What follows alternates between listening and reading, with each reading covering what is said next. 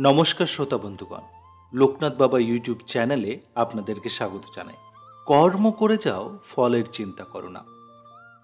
গীতাতে বাবা লোকনাথ এবং যত সাধু সন্ন্যাসী রয়েছেন, তারা সবাই একটা কথাই বলেছেন। কিন্তু আজকে এটা নিয়ে কথা বলব না। কেন কি এটা হচ্ছে যে কোনো মোটিভেশন ভিডিওর যে কোনো ইন্সপিরেশন ভিডিওর সবচেয়ে ব্যর্থ একটা কথা। কেন বলছি? কেন কি সবাই এটা শুনেছে, জীবনে অ্যাপ্লাই করার চেষ্টাও করে, কিন্তু তাদেরকে এটা লাগে যে সময়ে এরকম জীবনের কিছু অংশ আসে, যখন এটা করতে হয়, কেন কি আমাদের জীবনে কিছু ঠিকঠাক আসছে না, কর্ম করেই যাচ্ছি করেই যাচ্ছি, ফল তো আর পাচ্ছি না। বা কখনো ফল আসবে নিজেকে মোটিভেটেড রাখার, এটা একটা অস্ত্র হতে পারে, আর এটা সব থেকে বেশি মোটিভেশনের পুরো এরিয়াতে পুরো জায়গাতে ছড়ে আছে। কেন ছড়ে আছে? তার কারণ এটা হচ্ছে এটা সবচেয়ে পাওয়ারফুল ওয়ার্ড আমি কিছুক্ষণ আগেই ফালতু বললাম, ব্যর্থ বললাম, কিন্তু এটা সবচেয়ে পাওয়ারফুল ওয়ার্ড কিন্তু তাও, তার ইউটিলাইজেশনটা মানুষ বুঝতে পারে না কি কীভাবে এটাকে অ্যাপ্লাই করা যেতে পারে, নিজের লাইফে কেন কি? তারা নিজের জীবনে কিছু এরকম মানুষকে দেখে, যারা কর্মকে এনজয় করছে। মজা পাচ্ছে তারা এই কর্মটা করে নিয়ে। তার তো ফলের চিন্তা বাদই দিলাম। রোজগার তো হচ্ছেই, টাকাও অনেক বেশি মাত্রায় আসছে তার সঙ্গে সঙ্গে। তারা যে কর্মটা করছে, সেটাতে তারা কন্টিনিউয়াস মজা পাচ্ছে। কেউ দেখে বলে দেবে কি এর একটুও কষ্ট হয়নি এই কাজটা করতে, এই কাজটা করল আর এত টাকা নিয়ে চলে গেল। এক্সাম্পল একজন আপনাদের ওয়েস্ট বেঙ্গল কলকাতার গায়ক, বাংলাদেশের গায়ক। স্টেজে নামে, গান করে, সুন্দর সুন্দর গলাতে, টাকা নেই চলে যায়। যারা আসে, টাকা নেই, চলে যায়। তারা কি কষ্ট করল? তারা তো নিজের কাজে মজা পাচ্ছে, তার সঙ্গে টাকা পাচ্ছে। তাহলে কর্ম করো, ফলের চিন্তা করো না, বা কর্ম করেই যাও, প্রচুর কষ্ট, প্রচুর খাটনি, অনেক রকমের প্র্যাকটিস করো, তবে গিয়ে তুমি ফল পাবে। আমার জন্য এত কঠিন আর ওদের জন্য এত সোজা কেন? এই প্রশ্নটা যে কোনো সময় মানুষের মাথায় আসে, এটা বাস্তবিক সত্য, তার জন্যই আমি আগে বলেছিলাম। কি ওই যে কনসেপ্টটা বললাম, সেটা হয়তো জীবনের সবচেয়ে ফালতু কনসেপ্ট আপনাদের মনের মধ্যে হয়ে আছে। কিন্তু বিশ্বাস রয়েছে বাবা লোকনাথের উপরে, শ্রীকৃষ্ণর উপরে, গীতার উপরে। তার জন্য হাত জোড় করে, প্রণাম করে, নমস্কার করে দিই কি হ্যাঁ এটাই হচ্ছে বাস্তবিক সত্য। কিন্তু পৃথিবীতে যখন ঘুরতে যাই, তখন আমাদেরকে লাগে কি বইয়ে যা লেখা আছে আর প্র্যাকটিক্যালি যেটা হচ্ছে, এটা কমপ্লিটলি ডিফারেন্ট একটা জিনিস। কিন্তু এখানে একটা বোঝার গ্যাপ আছে। সেটা হচ্ছে যে মানুষটা স্টেজে চেপে গান করে প্রচুর টাকা নিয়ে চলে গেল, তার পেছনে একটা অনেক বড় কাজ রয়েছে যেটা আমরা দেখতে পারি না। কিছু কিছু মানুষ পৃথিবীতে অনেক লাকি থাকে। লাকি এই জন্যই থাকে কেন কি তারা নিজের জন্মর পরেই বুঝতে পেরে যায় যে আমাদেরকে জীবনে কি করার আছে। আর তারা সারা জীবন সেটাকে নিয়েই প্র্যাকটিস করতে আরম্ভ করে। জীবনের প্রথম অংশগুলোতে সেটা কিন্তু খুব খাটনির সময় হয়।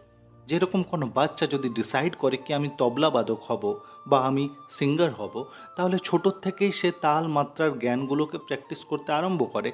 সেই সময় টিচারের কাছে অনেক বকা খায়। মা বাবার কাছে অনেক বকা খায়। প্র্যাকটিসের উপর প্র্যাকটিস চলতে থাকে। দিন রাত কন্টিনিউয়াস প্র্যাকটিস চলছে।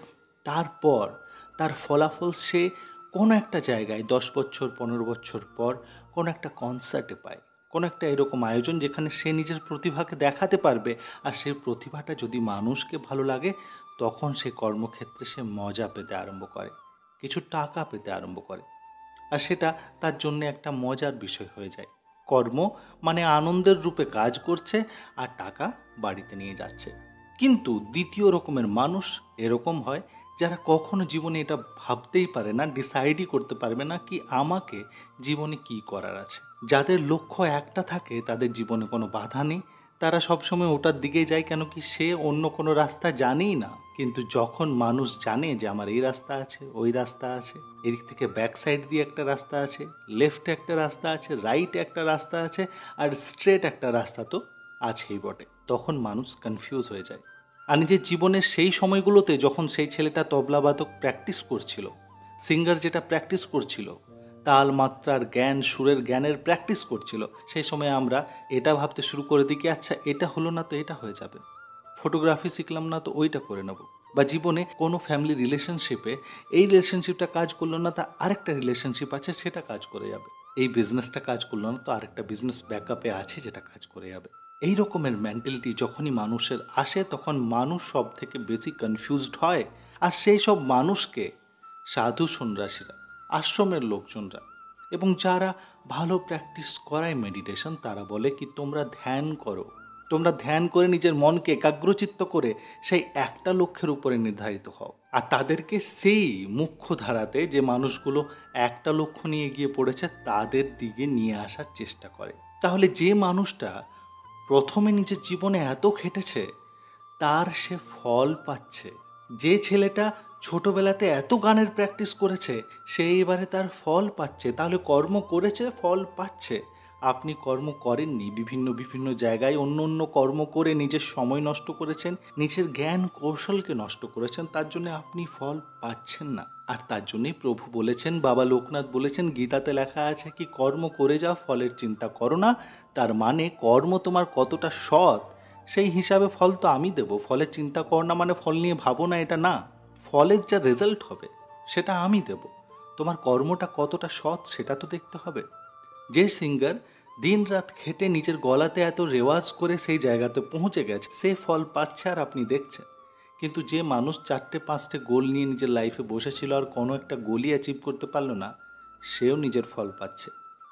মানে যে রেজাল্ট দেয়, যে রেফরির কথা আমি একটা অন্য ভিডিওতে বলেছিলাম কি, আমরা সবাই ফুটবলের গেমে নেমে পড়েছি, কিন্তু কে কত ভালো প্লেয়ার সেটা তার স্কোর কার্ড বলে। আর তাকে যা শাস্তি দেওয়ার তা রেফরি দেয়। রেফরি বলে কি, তুমি ভালো খেলোনি, তুমি আউট তুমি ভালো খেলেছো। দেখা যাচ্ছে গোল কাউন্ট হয়ে গেল। গোল হয়ে গেছে, তার কার্ড আমি দেখিয়ে দিলাম। ইশারা করে দিলাম কি, এই পক্ষের প্লেয়াররা গোল করেছে। প্রভু ওরকমই ঈশ্বর ওরকমই বাবা লোকনাথ বলুন, শ্রীকৃষ্ণ বলুন, বা আরও অন্য কোনো ধর্মের কোনো দেবী দেবতা, তারা শুধু তোমার সৎ কর্মকে দেখে। রেজাল্ট তাদের হাতে অবশ্যই রয়েছে, কিন্তু আপনার সৎ কর্মের মিটার কত সেই হিসাবে রেজাল্ট সাপ্লাই হয়। আর তার জন্যে যে কথাটা আমি আগে বলেছিলাম, কি কর্ম করে যাও, ফলের চিন্তা করো না, এটা সবচেয়ে ফালতু কথা। যেটা মানুষ ভাবে সেটা কিন্তু না। কর্ম করে যাও, ফলের চিন্তা করো না, এটা অতটাই চিরসত্য যতটা এই পৃথিবীতে আমাদের এক্সিস্টেন্সটা সত্য। তার জন্যে বিনা কোনো চিন্তা করে নিজের জীবনে সেই এক লক্ষ্যকে ধরে কাজ করে যাওয়া খুবই দরকার, তার যতক্ষণ না ফল পাবো, অতক্ষণ অন্যদিকে ধ্যান দেব না। এই মাথায় টেন্ডেন্সিটা রাখা অনেক দরকার। অনেক অনেক ধন্যবাদ আপনাদের বহুমূল্য সময় দেওয়ার জন্য। যদি প্রথমবার এই চ্যানেলে এসেছেন, অবশ্যই চ্যানেলটিকে সাবস্ক্রাইব করবেন শেয়ার করবেন নিজের প্রিয়জনদের মধ্যে। বাবা লোকনাথের কৃপাতে আপনারা সবাই সুস্থ থাকুন, ভালো থাকুন। জয় বাবা মঙ্গলকারী, লোকনাথ ব্রহ্মচারী।